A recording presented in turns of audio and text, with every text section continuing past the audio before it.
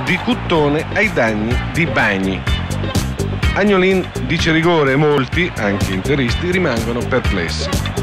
Pulici, già stoppato da Bergomi, non trova scampo nemmeno con Agnolin. Becalossi va al tiro sicuro segnando il gol decisivo, il primo dell'anno interista.